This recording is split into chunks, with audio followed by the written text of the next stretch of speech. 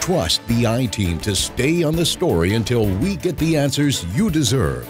Alabama News Network's Darryl Hood dug into the progress of the Alabama State University audit that former Governor Robert Bentley ordered over four years ago. The I team pushed for answers from the audit firm, ASU, and the new Ivey administration. Trust the Alabama News Network I team to keep pushing for the answers you deserve. Only on CBS 8 and ABC Montgomery.